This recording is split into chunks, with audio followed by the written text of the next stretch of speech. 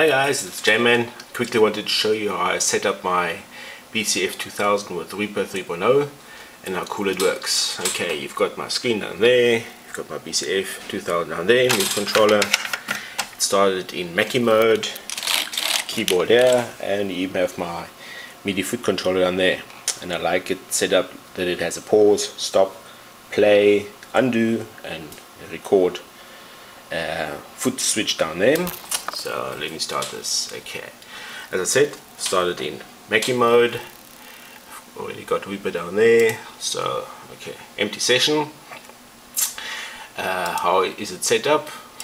Fairly straightforward. All I actually do is under preferences and control surfaces it's set up there as a Mackie control device 4.5 or 4 and 5 that's basically all I did.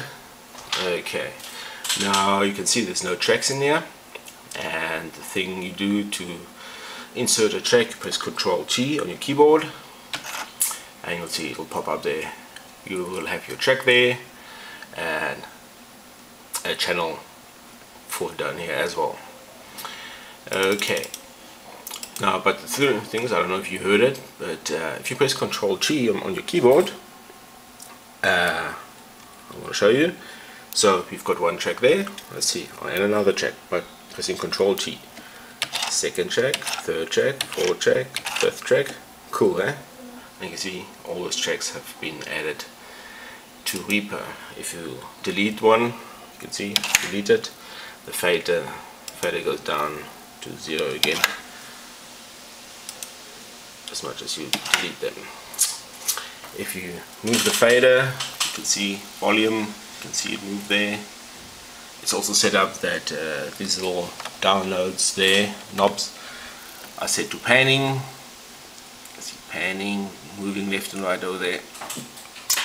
And uh, now all I have to do is actually arm this track and I can set my automation to right that means it'll record anything and uh, what else do we need to do nothing really okay so press record. There. There it goes. Move your fader up and down. And you see your automation lane. As I move this fader. Stop. And stop. So go back. And if I set my automation to read it'll turn green press play. And it will play this and at the fader.